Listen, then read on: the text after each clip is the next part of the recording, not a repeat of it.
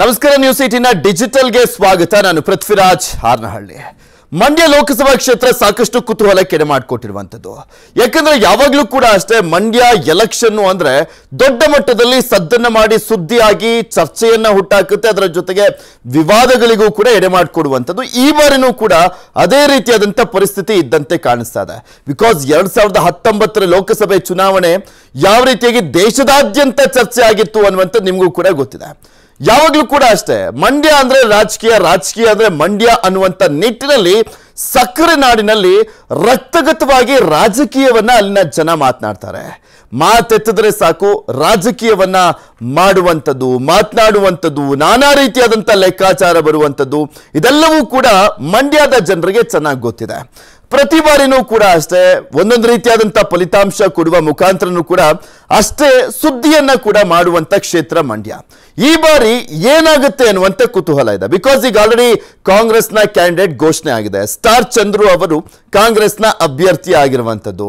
ಮತ್ತೊಂದ್ ಕಡೆ ಈ ಒಂದು ಕ್ಷೇತ್ರ ಬಿಜೆಪಿಗೋ ಜೆ ಡಿ ಎಸ್ಗೂ ಅನ್ನುವಂತ ಚರ್ಚೆ ನಡೀತಾ ಇತ್ತು. ಈಗ ಆಲ್ರೆಡಿ ಅಫಿಷಿಯಲ್ ಆಗಿ ಘೋಷಣೆ ಒಂದೇ ಬಾಕಿ ಅಂತ ಇದೆ. ಬಿಕಾಸ್ ಇಪ್ಪತ್ತು ಲೋಕಸಭಾ ಕ್ಷೇತ್ರಗಳಿಗೆ ಬಿಜೆಪಿ ತನ್ನ ಕ್ಯಾಂಡಿಡೇಟ್ಸ್ ಗಳನ್ನ ಘೋಷಣೆ ಮಾಡಿರುವಂತದ್ದು ಆದ್ರೆ ಇನ್ನೂ ಎಂಟು ಲೋಕಸಭಾ ಕ್ಷೇತ್ರಗಳಿಗೆ ಅಭ್ಯರ್ಥಿಗಳನ್ನ ಘೋಷಣೆ ಮಾಡಬೇಕಾಗಿದೆ. ಅದರಲ್ಲಿ ಮೂರು ಲೋಕಸಭಾ ಕ್ಷೇತ್ರವನ್ನ ಜೆಡಿಎಸ್ಗೆ ಬಿಟ್ಕೊಡ್ಲಿರುವಂತದ್ದು ಆ ಮೂರು ಲೋಕಸಭಾ ಕ್ಷೇತ್ರಗಳಲ್ಲಿ ಮಂಡ್ಯ ಕೂಡ ಒಂದು. ಇನ್ನು ಉಳಿದಿದ್ದಂಥದ್ದು ಹಾಸನ ಮತ್ತೆ ಕೋಲಾರ. ಈ ಎರಡು ಲೋಕಸಭಾ ಕ್ಷೇತ್ರ ಜೊತೆಗೆ ಮಂಡ್ಯ ಈ ಮೂರು ಲೋಕಸಭಾ ಕ್ಷೇತ್ರಗಳನ್ನ ಜೆಡಿಎಸ್ಗೆ ಬಿಟ್ಕೊಟ್ಟೇ ಬಿಟ್ಕೊಡ್ತಾರೆ ಅನ್ನುವಂಥದ್ದು ಗೊತ್ತಾಗಿದೆ. ಅದನ್ನೀಗ ಆಲ್ರೆಡಿ ಕುಮಾರಸ್ವಾಮಿ ಅವರು ಕೂಡ ಮಾತನಾಡಿದ್ದಾರೆ. ಹಾಗೆ ದೇವೇಗೌಡರು ಕೂಡ ಮಾತನಾಡಿದ್ದಾರೆ. ಜೆಡಿಎಸ್ಗೆ ಮಂಡ್ಯ ಲೋಕಸಭಾ ಕ್ಷೇತ್ರವನ್ನ ಬಿಟ್ಕೊಡ್ತಾ ಇರುವಂತ ಹಿನ್ನೆಲೆಯಲ್ಲಿ ಕಳೆದ ಬಾರಿ ಗೆದ್ದಿದ್ದಂತ ಪಕ್ಷೇತರ ಸಂಸದೆ ಸುಮಲತಾ ಅಂಬರೀಶ್ ಅವರು ಏನು ಮಾಡ್ತಾರೆ ಅನ್ನುವಂಥ ಕುತೂಹಲ ಇರುವಂಥದ್ದು ಬಿಕಾಸ್ ಕಳೆದ ಬಾರಿ ಪಕ್ಷೇತರವಾಗಿ ಗೆದ್ದಿದ್ರು. ಎರಡ್ ಸಾವಿರದ ಹತ್ತೊಂಬತ್ತರಲ್ಲಿ ಇದ್ದಿದ್ದಂಥ ಪರಿಸ್ಥಿತಿನೇ ಬೇರೆ. ಅವರು ಎದುರಿಸಿದಂಥ ರೀತಿನೂ ಕೂಡ ಬೇರೆ. ಒಂದು ದೊಡ್ಡ ಸವಾಲನ್ನ ಗೆದ್ದಿದ್ರು. ಅನುಕಂಪದ ಅಲೆ ಕೂಡ ಇತ್ತು. ಅದರ ಜೊತೆಗೆ ಏನೇನೆಲ್ಲ ಕಾರಣಗಳ ಇದ್ವು ಸುಮಲತಾ ಅಂಬರೀಶ್ ಅವರು ಗೆಲ್ಲುವಂತ ನಿಟ್ಟಿನಲ್ಲಿ ಅನ್ನುವಂಥದ್ದನ್ನ ಕೂಡ ನಾನು ಹೇಳ್ತಾ ಹೋಗ್ತೀನಿ. ಕಳೆದ ಬಾರಿ ಎರಡ್ ಸಾವಿರದ ಹತ್ತೊಂಬತ್ತರ ಲೋಕಸಭೆ ಎಲೆಕ್ಷನ್ನ ಒಂದು ಜಲಕ್ ಅಂತ ನೋಡಿದಾದ್ರೆ ಆ ಸಂದರ್ಭದಲ್ಲಿ ಮುಖ್ಯಮಂತ್ರಿಗಳಾಗಿದ್ದಂಥವರು ಕುಮಾರಸ್ವಾಮಿ ಅವರು ಮೈತ್ರಿ ಸರ್ಕಾರ ಇತ್ತು. ಕಾಂಗ್ರೆಸ್, ಜೆ ಡಿ ಎಸ್, ಆ ಒಂದು, ಏನ್ ಮೈತ್ರಿ ಇತ್ತು, ಆ ಸಂದರ್ಭದಲ್ಲಿ ಕಾಂಗ್ರೆಸ್ ತನ್ನ ಅಭ್ಯರ್ಥಿಯನ್ನ ಬಿಟ್ಟು ಮೈತ್ರಿ ಅಭ್ಯರ್ಥಿಯಾಗಿ ನಿಖಿಲ್ ಕುಮಾರಸ್ವಾಮಿ ಅವರು ನಿಂತಿದ್ರು. ಹಂಗ್ ನೋಡ್ಕೊಂಡ್ರೆ ಲೆಕ್ಕಾಚಾರದಲ್ಲಿ ಮಂಡ್ಯದಲ್ಲಿ ಇದ್ದಂತ ಎಲ್ಲ, ಅಂದ್ರೆ ಮಂಡ್ಯ ಲೋಕಸಭಾ ಕ್ಷೇತ್ರದ ವ್ಯಾಪ್ತಿಗೆ ಎಂಟು ವಿಧಾನಸಭಾ ಕ್ಷೇತ್ರಗಳು ಬರ್ತವೆ. ಎಂಟು ವಿಧಾನಸಭಾ ಕ್ಷೇತ್ರದಲ್ಲೂ ಕೂಡ ಜೆ ಡಿ ಎಸ್ನ ಶಾಸಕರಿದ್ರು. ಇಷ್ಟಿದ್ದರೂ ಕೂಡ ಸುಮಲತಾ ಅಂಬರೀಶ್ ಅವರು ಗೆದ್ದಿದ್ದು ಒಂದು ದಾಖಲೆ ಆಗಿತ್ತು.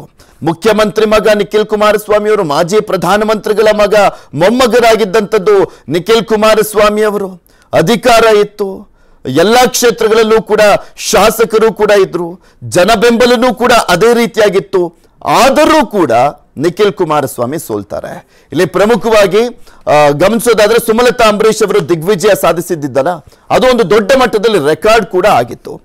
ಏನೇನೆಲ್ಲ ಕಾರಣ ಆಯಿತು ಇವರ ಗೆಲುವಿಗೆ ಅಂದ್ರೆ ಒಂದು ಪ್ರಮುಖವಾಗಿ ಕಾಂಗ್ರೆಸ್ನ ಕಾರ್ಯಕರ್ತರು ಮತ್ತೆ ಜೆ ಡಿ ಎಸ್ನ ಕಾರ್ಯಕರ್ತರ ನಡುವೆನೆ ಹೊಂದಾಣಿಕೆ ಇರಲಿಲ್ಲ. ಜೆ ಡಿ ಎಸ್ನ ಒಪ್ಕೊಳ್ಳೋದಕ್ಕೆ ರೆಡಿ ಇರಲಿಲ್ಲ ಕಾಂಗ್ರೆಸ್ನ ಕಾರ್ಯಕರ್ತರು. ಇನ್ನು ಜೆ ಡಿ ಎಸ್ ಕಾರ್ಯಕರ್ತರು ಕೂಡ ಅಷ್ಟೇ ಕಾಂಗ್ರೆಸ್ ಅನ್ನ ಒಪ್ಕೊಳ್ಳೋದಕ್ಕೆ ರೆಡಿ ಇರಲಿಲ್ಲ. ಇವರಿಬ್ಬರ ಹೊಂದಾಣಿಕೆ ಇಲ್ಲದಿರುವಂಥದ್ದು ಒಂದು ಮೇನ್ ಅಡ್ವಾಂಟೇಜ್ ಆಗಿತ್ತು. ಅದರ ಜೊತೆಗೆ ಪ್ರಮುಖವಾಗಿದ್ದು ಅಂದರೆ ಅಂಬರೀಷ್ ಅವರು ಸಾವನ್ನಪ್ಪಿ ಜಸ್ಟ್ ಒಂದು ಆರು ತಿಂಗಳಾಗಿತ್ತು ಅಷ್ಟೇ. ಅದು ಕೂಡ ಒಂದು ಅನುಕಂಪ ಇತ್ತು. ಅದರ ಜೊತೆಗೆ ಸುಮಲತಾ ಅಂಬರೀಶ್ ಅವರು ಕಣ್ಣೀರನ್ನ ಹಾಕೋದ್ರ ಜೊತೆ ಜೊತೆಗೆ ಸ್ವಾಭಿಮಾನದ ಹೆಸರಲ್ಲಿ ಚುನಾವಣೆಯನ್ನ ಎದುರಿಸಿದ್ರು. ಸೆರಗೊಡ್ಡಿ ಮತಭಿಕ್ಷೆಯನ್ನ ಕೇಳಿದ್ರು ಸುಮಲತಾ ಅಂಬರೀಶ್ ಅವರು. ಅದೆಲ್ಲವೂ ಕೂಡ ವರ್ಕೌಟ್ ಆಗಿತ್ತು. ಅದರ ಜೊತೆಗೆ ಯಶ್ ಅವರು, ದರ್ಶನ್ ಅವರು ಜೋಡೆತ್ತುಗಳ ರೀತಿಯಲ್ಲಿ ಸುಮಲತಾ ಅಂಬರೀಶ್ ಅವರನ್ನ ಗೆಲ್ಲಿಸಲೇಬೇಕು ಅನ್ನುವಂತ ನಿಟ್ಟಿನಲ್ಲಿ ಪಣ ತೊಟ್ಟಿದ್ರು. ಅದರ ಜೊತೆಗೆ ಬಿಜೆಪಿ ಅಭ್ಯರ್ಥಿ ಕೂಡ ಅಲ್ಲಿ ಹಾಕಿರ್ಲಿಲ್ಲ. ಕಾಂಗ್ರೆಸ್ನ ಕಾರ್ಯಕರ್ತರು ಸುಮಲತಾ ಅವರ ಬೆನ್ನಿಗೆ ನಿಂತಿದ್ರು. ಇನ್ನೊಂದು ಮೇನ್ ವಿಚಾರ ಅಂತ ನೋಡೋದಾದ್ರೆ, ಅಲ್ಲಿ ಮಂಡ್ಯದ ಜೆ ಡಿ ಎಸ್ನ ಕಾರ್ಯಕರ್ತರು ಕೂಡ ಅಸಮಾಧಾನಗೊಂಡಿದ್ರು. ಯಾಕೆಂದ್ರೆ, ಒಂದು ನಿಖಿಲ್ ಕುಮಾರಸ್ವಾಮಿ ಇಲ್ಲಿ ಮಂಡ್ಯದಲ್ಲಿ ಒಬ್ಬರೇ ನಿಂತಿದ್ರೆ ಪ್ರಾಬ್ಲಮ್ ಆಗ್ತಾ ಇರಲಿಲ್ಲ. ಆದರೆ, ದೇವೇಗೌಡರ ಕುಟುಂಬದವರು ಹಾಸನ ಲೋಕಸಭಾ ಕ್ಷೇತ್ರದಲ್ಲೂ ನಿಂತಿದ್ರು. ತುಮಕೂರು ಲೋಕಸಭಾ ಕ್ಷೇತ್ರದಲ್ಲಿ ಸ್ವತಃ ದೇವೇಗೌಡರು ನಿಂತಿದ್ರು. ಇಲ್ಲಿ ಕುಟುಂಬ ರಾಜಕಾರಣನೂ ಕೂಡ ಪ್ರಮುಖವಾಗಿ ಕಾರಣ ಆಗ್ಬಿಡ್ತು. ನಿಖಿಲ್ ಕುಮಾರಸ್ವಾಮಿ ಅವರು ಸೋಲುವಂತ ನಿಟ್ಟಿನಲ್ಲಿ. ಒಂದು ಸುಮಲತಾ ಅಂಬರೀಶ್ ಅವರಿಗೆ ಅನುಕಂಪದ ಅಲೆ ವರ್ಕೌಟ್ ಆಯಿತು. ಕಾಂಗ್ರೆಸ್ನ ಕಾರ್ಯಕರ್ತರು ಸುಮಲತಾ ಅಂಬರೀಶ್ ಅವರ ಬೆನ್ನೆಲುಬಾಗಿ ನಿಂತಿದ್ರು, ಅವ್ರು ಗೆಲ್ಲುವಂತ ನಿಟ್ಟಿನಲ್ಲಿ. ಬಿಜೆಪಿ ಅಭ್ಯರ್ಥಿಯನ್ನ ಹಾಕದೆ ಸುಮಲತಾ ಅಂಬರೀಶ್ ಅವರಿಗೆ ಸಪೋರ್ಟ್ ಅನ್ನ ಕೊಟ್ಟಿದ್ದು ಕೂಡ ವರ್ಕೌಟ್ ಆಯಿತು. ಸೊ ಹೀಗಾಗಿ ಗೆದ್ಬಿಟ್ರು ಸುಮಲತಾ ಅಂಬರೀಶ್ ಅವರು. ಎಷ್ಟು ಮತಗಳ ಅಂತರ? ಟೋಟಲ್ ಆಗಿ ಸುಮಲತಾ ಅಂಬರೀಶ್ ಅವರು ಏಳು ಲಕ್ಷ ಮತವನ್ನ ಪಡ್ಕೊಂಡ್ರೆ, ನಿಖಿಲ್ ಕುಮಾರಸ್ವಾಮಿ ಅವರು ಐದು ಲಕ್ಷದ ಎಪ್ಪತ್ತೇಳು ಸಾವಿರ ಮತಗಳನ್ನ ಪಡ್ಕೊಳ್ತಾರೆ. ಅಥವಾ ಒಂದು ಲಕ್ಷದ ಇಪ್ಪತ್ತೈದು ಸಾವಿರ ಒಂದು ಬಿಗ್ ಮಾರ್ಜಿನ್ ಅಲ್ಲಿ ವಿನ್ ಆಗುವಂಥದ್ದು. ಸೊ ಹೀಗಾಗಿ ಈ ಬಾರಿ ನನಗೆ ಮಂಡ್ಯ ಲೋಕಸಭೆ ಅಂದ್ರೆ ಅಭ್ಯರ್ಥಿಯಾಗಿ ಕಣಕ್ಕಿಳಿದೇ ಇಳಿತೀನಿ. ಬಿಜೆಪಿಯಿಂದ ಟಿಕೆಟ್ ಸಿಕ್ಕೇ ಸಿಗುತ್ತೆ. ಜೆ ಡಿ ಎಸ್ ಪಾಲಾಗೋದಿಲ್ಲ ಅದು ಅನ್ನುವಂಥ ನಿರೀಕ್ಷೆಯಲ್ಲಿದ್ರು ಸುಮಲತಾ ಅಂಬರೀಶ್ ಅವರು. ಆದರೆ ಅದೆಲ್ಲವೂ ಕೂಡ ಉಲ್ಟಾ ಆಗಿದೆ. ಅದರ ಜೊತೆಗೆ ಈ ಒಂದು ಕ್ಷೇತ್ರದಲ್ಲಿ ಮಂಡ್ಯ ಜೆ ಡಿ ಎಸ್ಗೆ ಬಿಟ್ಕೊಡ್ತಾ ಇರುವಂತ ಕಾರಣಕ್ಕೆ ಜೆ ಡಿ ಎಸ್ನಿಂದ ಯಾರು ಅಭ್ಯರ್ಥಿ ಅನ್ನುವಂಥ ಪ್ರಶ್ನೆ ಇತ್ತು. ಸಿ ಎಸ್ ಪುಟ್ರಾಜು ಅವ್ರು ಏನೋ ನಿಂತ್ಕೊಳ್ತಾರೆ ಅನ್ನುವಂತ ನಿಟ್ಟಿನಲ್ಲಿ ಅವರು ಕೂಡ ಒಂದು ರೌಂಡ್ ಆಗ್ತಾ ಇದ್ರು. ಎಲ್ಲ ದೇವಸ್ಥಾನಗಳಿಗೆಲ್ಲ ಹೋಗಿ ಪೂಜೆ ಪುನಸ್ಕಾರಗಳನ್ನು ಮಾಡ್ತಾ ಇದ್ರು. ಆದ್ರೆ ನಿನ್ನೆ ನಡೆದಂತ ಕುಮಾರಸ್ವಾಮಿ ಅವರ ಒಂದು ಸಭೆಯಲ್ಲಿ ಅಲ್ಲಿದ್ದಂತ ಎಲ್ಲಾ ನಾಯಕರುಗಳು, ಇಲ್ಲ ನಿಖಿಲ್ ಕುಮಾರಸ್ವಾಮಿ ನಿಂತ್ಕೊಳ್ಬೇಕು, ಇಲ್ಲ ಕುಮಾರಸ್ವಾಮಿ ಅವರು ನಿಂತ್ಕೊಳ್ಬೇಕು ಅನ್ನುವಂಥದ್ರ ಬಗ್ಗೆ ಮಾತನಾಡಿದ್ದಾರೆ. ಸೊ ಹೀಗಾಗಿ ಕುಮಾರಸ್ವಾಮಿ ಅವರು ನಿಮ್ಮ ನಿರೀಕ್ಷೆಗಳನ್ನ ಹುಸಿ ಮಾಡದಂತೆ ನಾನು ಬಿಡೋದಿಲ್ಲ. ಭಾವನೆಗಳಿಗೆ ಹರ್ಟ್ ಮಾಡೋದಕ್ಕೆ ಬಿಡೋದಿಲ್ಲ. ನಿಮ್ಮ ಭಾವನೆಗಳಿಗೆ ರೆಸ್ಪೆಕ್ಟ್ ಕೊಡ್ತೀನಿ ಅಂತ ಹೇಳುವ ಮುಖಾಂತರ ಅವರು ಅಥವಾ ನಿಖಿಲ್ ಕುಮಾರಸ್ವಾಮಿ ನಿಂತ್ಕೊಳ್ಳುವಂಥ ಒಂದು ಮುನ್ಸೂಚನೆಯನ್ನ ಕೊಟ್ಟಿದ್ದಾರೆ. ಸೊ ಹೀಗಾಗಿನೇ ಸಕ್ಕರೆ ನಾಡಿನಲ್ಲಿ ಈ ಬಾರಿನೂ ಕೂಡ ರಣರೋಚಕವಾದಂತ ಚುನಾವಣಾ ಕದನ ನಡೆಯುವಂತ ಸಾಧ್ಯತೆ ಇದೆ. ಬಿಕಾಸ್ ಇಲ್ಲಿ ಗೆದ್ದೇ ಗೆಲ್ಲಬೇಕು ಅನ್ನುವಂತ ನಿಟ್ಟಿನಲ್ಲಿ ಕುಮಾರಸ್ವಾಮಿ ಅವರು ಕಣಕ್ಕಿಳಿಯುವಂತ ಸಾಧ್ಯತೆ ಇದೆ. ಅವರು ಒಂದು ಕಂಡೀಷನ್ ಹಾಕಿದ್ದಾರೆ. ನಾನು ಕಣಕ್ಕಿಳಿಬೇಕು ಅಂದ್ರೆ, ಒಂದು ನನಗೆ ಸಚಿವ ಸ್ಥಾನ ಕನ್ಫರ್ಮ್ ಮಾಡೋದಾದರೆ ನಾನು ನಿಂತ್ಕೊಳ್ತೀನಿ. ಇಲ್ಲ ಅಂದ್ರೆ ತನ್ನ ಪುತ್ರ ನಿಖಿಲ್ ಕುಮಾರಸ್ವಾಮಿ ಅವ್ರನ್ನ ನಿಲ್ಲಿಸುವಂತ ಸಾಧ್ಯತೆ ಇದೆ. ಮತ್ತದೇ ಡೈಲಾಗು ಬಿಕಾಸ್ ಇಲ್ಲಿ ಜನ ಕೇಳ್ತಾ ಇದ್ದಾರೆ, ನಿಖಿಲ್ ಕುಮಾರಸ್ವಾಮಿ ಅವರು ನಿಂತ್ಕೊಳ್ಬೇಕು ಅನ್ನುವಂತ ನಿಟ್ಟಿನಲ್ಲಿ. ಸೊ ಹೀಗಾಗಿ ಕಡೆ ಕ್ಷಣದಲ್ಲಿ ನಿಖಿಲ್ ಕುಮಾರಸ್ವಾಮಿ ಅವರು ನಿಂತ್ಕೊಳ್ತಾರಾ ಅಥವಾ ಕುಮಾರಸ್ವಾಮಿ ಅವರೇ ನಿಂತ್ಕೊಳ್ತಾರಾ ಅನ್ನುವಂತ ಕುತೂಹಲ ಇದೆ. ಆದ್ರೆ ಜೆ ಡಿ ಎಸ್ ಅಂದ್ಕೊಂಡಷ್ಟು ಈಸಿಯಾಗಿಲ್ಲ ಈ ಬಾರಿ.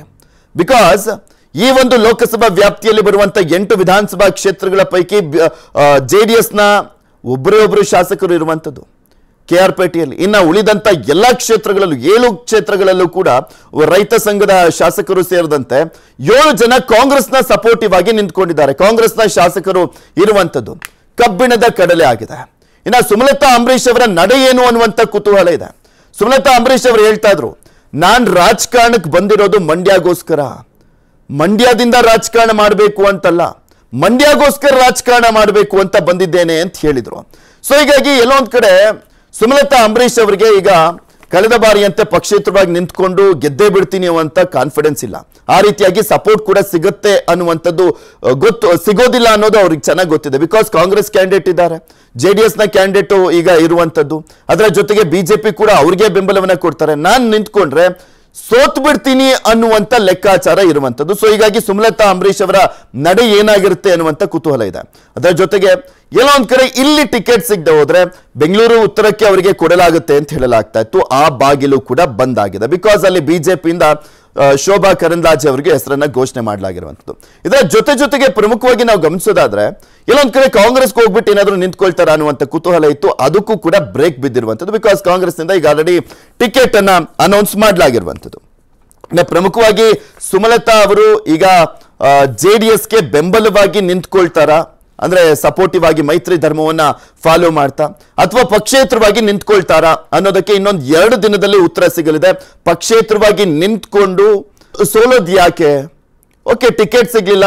ಕಳೆದ ಬಾರಿ ಬಿಜೆಪಿ ನಂಗೆ ಸಪೋರ್ಟ್ ಮಾಡಿತ್ತು ಅನ್ನೋ ಕಾರಣಕ್ಕೋಸ್ಕರ ಋಣ ತೀರಿಸುವಂತ ಕೆಲಸವನ್ನ ಮಾಡ್ತಾರಾ? ನರೇಂದ್ರ ಮೋದಿ ಅವರು ಪ್ರಧಾನಿ ಆಗ್ಬೇಕು ಅನ್ನುವಂತ ನಿಟ್ಟಿನಲ್ಲಿ ಸಪೋರ್ಟ್ ಕೊಡ್ತಾರಾ? ಕುಮಾರಸ್ವಾಮಿ ಅವರಿಗೆ ಅಥವಾ ನಿಖಿಲ್ ಕುಮಾರಸ್ವಾಮಿ ಅವರಿಗೆ ಅನ್ನುವಂಥದ್ದನ್ನ ಕಾದ್ ನೋಡ್ಬೇಕು.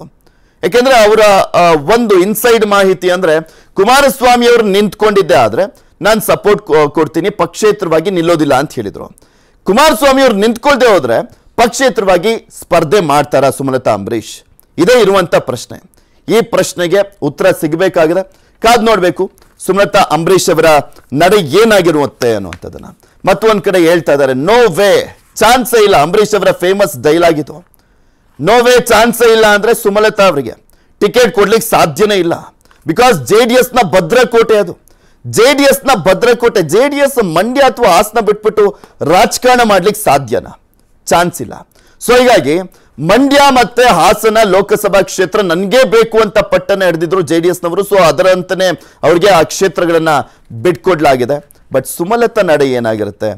ಕಾದ್ ನೋಡಬೇಕಾಗಿದೆ. ಕುಮಾರಸ್ವಾಮಿ ಅವರು ಸ್ಪರ್ಧೆ ಮಾಡಿದಂತ ಸಂದರ್ಭದಲ್ಲಿ ಮೋಸ್ಟ್ ಪ್ರಾಬಲಿ ಈ ಬಾರಿ ಒಂದು ಲೆಕ್ಕಾಚಾರ ಬದಲಾದರೂ ಆಗ್ಬೋದು ಬಿಕಾಸ್ ಜೆ ಡಿ ಎಸ್ ವಿಧಾನಸಭಾ ಎಲೆಕ್ಷನ್ ಸಂದರ್ಭದಲ್ಲಿ ಹೀನಾಯವಾಗಿ ಸೋತಿತ್ತು. ಈ ಬಾರಿ ಅನುಕಂಪದ ಆಧಾರದಲ್ಲಿ ಗೆದ್ರೂ ಗೆಲ್ಲಬಹುದು ಅನ್ನುವಂಥ ಲೆಕ್ಕಾಚಾರ ಕೂಡ ಇರುವಂಥದ್ದು. ಅದರ ಜೊತೆಗೆ ಈ ಬಾರಿನೂ ಏನಾದರೂ ಜೆ ಡಿ ಎಸ್ಗೆ ಎಫೆಕ್ಟ್ ಆಗುತ್ತಾ? ಕುಟುಂಬ ರಾಜಕಾರಣ ಅನ್ನುವಂಥದ್ದು. ಬಿಕಾಸ್ ಹಾಸನದಲ್ಲಿ ಪ್ರಜ್ವಲ್ ರೇವಣ್ಣ ನಿಂತ್ಕೊಂಡು ಮತ್ತೆ ನಿಖಿಲ್ ಕುಮಾರಸ್ವಾಮಿ ಅಥವಾ ಕುಮಾರಸ್ವಾಮಿ ಅವರು ನಿಂತ್ಕೊಂಡು ಅದರ ಜೊತೆಗೆ ಬೆಂಗಳೂರು ಗ್ರಾಮಾಂತರದಲ್ಲಿ ಬೇರೆ ದೇವೇಗೌಡರ ಅಳಿಯ ಮಂಜುನಾಥ್ ಅವರು ನಿಂತ್ಕೊಂಡಿದ್ದಾರೆ. ಮತ್ತೆ ಅದೇ ಒಂದು ಎಫೆಕ್ಟ್ ಕುಟುಂಬ ರಾಜಕಾರಣದ ಎಫೆಕ್ಟ್ ಮಂಡ್ಯದಲ್ಲಿ ಒಡೆದು ಬಿಡುತ್ತಾ ಅನ್ನುವಂತ ಭಯ ಕೂಡ ಕಾಡ್ತಾ ಇದೆ ಕುಮಾರಸ್ವಾಮಿ ಅವರಿಗೆ. ಬಟ್ ಅವರು ಇಪ್ಪತ್ತೊಂದನೇ ತಾರೀಕು ಆಪರೇಷನ್ಗೆ ಹೋಗ್ತಾ ಇದ್ದಾರೆ, ಇಪ್ಪತ್ತೈದನೇ ತಾರೀಕು ವಾಪಸ್ ಬಂದಂತ ಸಂದರ್ಭದಲ್ಲಿ ನಿರ್ಧಾರ ಪ್ರಕಟಿಸ್ತೀನಿ, ಯಾರು ಅಭ್ಯರ್ಥಿ ಅಂತ ಹೇಳಿರುವಂತ ಹಿನ್ನೆಲೆಯಲ್ಲಿ ಮತ್ತಷ್ಟು ಚುನಾವಣಾ ಕಣ ಗರಿಗೆದರಿರುವಂಥದ್ದು ಮಂಡ್ಯದಲ್ಲಿ. ಏನಾಗುತ್ತೆ ಅನ್ನುವಂಥದ್ದನ್ನ ಕಾದ್ ನೋಡಬೇಕು. ಎಚ್ ನಿರ್ಧಾರ ಏನು, ಅದರ ಜೊತೆಗೆ ಸುಮಲತ ನಡೆ ಏನು ಅನ್ನುವಂಥದ್ದನ್ನ ಕೂಡ ಕಾದ್ ನೋಡ್ಬೇಕಾಗಿದೆ. ಅವ್ರ ಒಟ್ಟಿನಲ್ಲಿ ನಾನು ಚುನಾವಣೆಗೆ ನಿಲ್ತೀನಿ ಅಂತ ಹೇಳಿದ್ದಾರೆ. ನಿಜಕ್ಕೂ ನಿಲ್ತಾರ? ಆ ಧೈರ್ಯವನ್ನ ಮಾಡ್ತಾರ? ಅಥವಾ ಸೈಲೆಂಟ್ ಆಗಿ ನ್ಯೂಟ್ರಲ್ ಆಗಿ ಇದ್ಕೊಂಡು ಅಲ್ಲಿಗೆ ಅವರ ರಾಜಕೀಯ ಭವಿಷ್ಯ ನಿಂತು ಬಿಡುತ್ತಾ? ಅಥವಾ ಬಿಜೆಪಿಯವರು ಏನಾದರೂ ಭರವಸೆಯನ್ನ ಕೊಟ್ಟು ನಿಮಗೆ ರಾಜ್ಯಸಭೆ ಚುನಾವಣೆಗೂ ಅಥವಾ ನಿಮ್ಮ ಮಗನಿಗೆ ನೆಕ್ಸ್ಟ್ ವಿಧಾನಸಭೆ ಚುನಾವಣೆಗೂ ನಾವು ಟಿಕೆಟ್ ಅನ್ನ ಕೊಡ್ತೀವಿ. ಸೊ ಈ ಬಾರಿ ಸೈಲೆಂಟ್ ಆಗಿರಿ ಅಂತ ಹೇಳಿ ಸಮಾಧಾನ ಮಾಡ್ತಾರ? ಕಾದ್ ನೋಡ್ಬೇಕಾಗಿದೆ. ಮಂಡ್ಯ ಈ ಬಾರಿನೂ ಕೂಡ ಕುತೂಹಲಕ್ಕೆ ಮಾಡಿಕೊಟ್ಟಿದೆ. ಆ ಕುತೂಹಲ ಮುಂದುವರಿತಾ ಇದೆ. ಜಿದ್ದಾಜಿದ್ದಿ ಅಂತೂ ಕೂಡ ಇರುವಂಥದ್ದು ಈ ಬಾರಿ. ಹೇಗಾದ್ರೂ ಆಗಿ ಜೆ ಡಿ ಎಸ್ ಗೆದ್ದೇ ಗೆಲ್ಲಬೇಕು ಅನ್ನುವಂತ ಪಣವನ್ನ ತೊಟ್ಟಿರುವಂತ ಹಿನ್ನೆಲೆಯಲ್ಲಿ ಕಾಂಗ್ರೆಸ್ಗೂ ಕೂಡ ಅದೇ ರೀತಿಯಾದಂಥ ಸವಾಲು ಎದುರಾಗಿರುವಂಥದ್ದು ಅವರು ಕೂಡ ಸಾಕಷ್ಟು ಹರಸಾಹಸ ಪಡ್ತಾ ಇದ್ದಾರೆ ಈ ಬಾರಿ. ಹೇಗಾದ್ರೂ ಮಾಡಿ ಮತ್ತೆ ಕಾಂಗ್ರೆಸ್ ಗೆಲ್ಲಬೇಕು ಅನ್ನುವಂತ ನಿಟ್ಟಿನಲ್ಲಿ ಡಿ ಕೆ ಶಿವಕುಮಾರ್ ಅವರಿಗೆ ತುಂಬಾ ಅಗತ್ಯ ಇದೆ ಈ ಒಂದು ಚುನಾವಣೆಯ ರಿಸಲ್ಟ್ ಅವರು ಮುಖ್ಯಮಂತ್ರಿ ಕನಸನ್ನು ಏನ್ ಕಾಣ್ತಾ ಇದ್ದಾರೆ?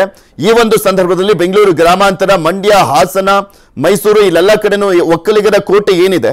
ಇಲ್ಲಿ ತನ್ನ ಅಭ್ಯರ್ಥಿಗಳನ್ನ ಗೆಲ್ಸ್ಕೊಂಡು ಬರುವಂತ ಮುಖಾಂತರ ತಾನೆಷ್ಟು ಬಲಿಷ್ಠವಾಗಿದ್ದೇನೆ, ನನಗೆ ಮುಖ್ಯಮಂತ್ರಿ ಸ್ಥಾನ ಕೊಡಲೇಬೇಕು ಅನ್ನುವಂತ ನಿಟ್ಟಿನಲ್ಲಿ ಹಕ್ಕೊತ್ತಾಯ ಮಾಡಲಿಕ್ಕೆ ಇದು ಕೂಡ ಸಹಾಯ ಆಗುತ್ತೆ ಈ ಚುನಾವಣೆಯ ಫಲಿತಾಂಶ.